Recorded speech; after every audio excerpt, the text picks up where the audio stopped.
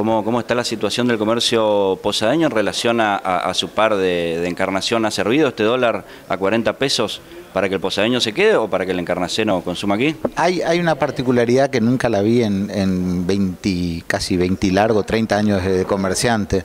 Yo nunca vi esta, esta encarnación vacía y una posada vacía, e, e, o era una o era otra.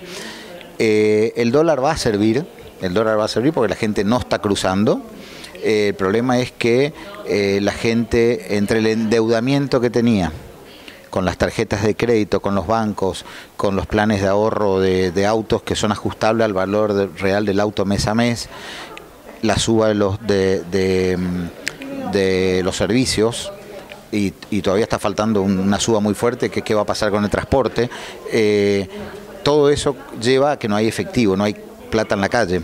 Entonces el consumo está totalmente parado y uno escucha al gobierno nacional y te dice que iban a, sacar los pesos de la calle para frenar el dólar, para reacomodar. Eso está y repercute directamente en el comercio. El comercio viene, está endeudado, eh, estamos en un punto de equilibrio muy complicado y el, esperamos que estos dos meses que vienen, que son meses muy buenos para el comercio, ayuden a, que haya más movimiento. en este contexto, ¿cómo es esta decisión de, la CGT, del Gobierno Nacional, de posiblemente obligar a, las empresas a pagar un bono de, de 5 mil pesos a fin de año? A ver, dejarte bien en claro de que yo creo que hay que inyectarle dinero a la plaza, al trabajador.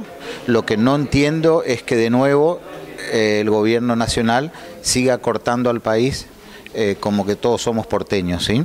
Mm, lo dije, un empleado que trabaja en las petroleras en el sur, son gente que gana arriba 80 mil, 100 mil pesos por mes y tal vez esas empresas que hoy están exportando con un dólar de 36, gas, fue público, pueden pagar 5 mil. Ahora, ¿vos querés que en el interior de Misiones, o la ruta 14, ruta 12, algún negocio de comida que atiende camioneros, mm, gente que es familiar el negocio y tal vez tiene uno o dos empleados, ¿pueden pagar lo mismo? ¿Pueden pagar 5 mil pesos? No, no pueden pagar 5 mil pesos. Entonces creo que la decisión está bien tomada, que hay que poner plata, ahora hay que marcarlo de otra manera. El mismo ejemplo, un hotel cinco estrellas que hoy está recibiendo turistas extranjeros, porque uno mira las estadísticas y Argentina ya empezó con la balanza comercial a favor, antes la gente viajaba afuera y ahora está entrando el turista. Ese hotel 5 estrellas está vendiendo con una tarifa en dólares.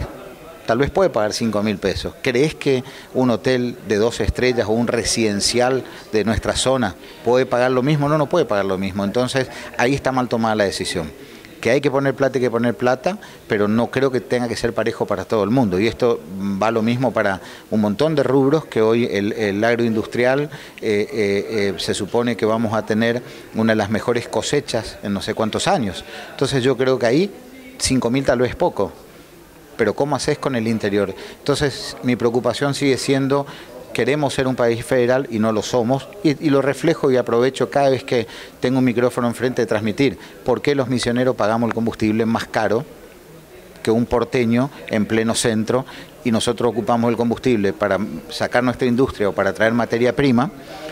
y tal vez el porteño ocupa el gasoil para subirse a una camioneta importada para, irse al country. Entonces, si queremos ser federal, el combustible tiene que valer lo mismo allá que acá, por lo menos, dado que encima nosotros no tenemos gas y nosotros para producir necesitamos o el combustible o el gas.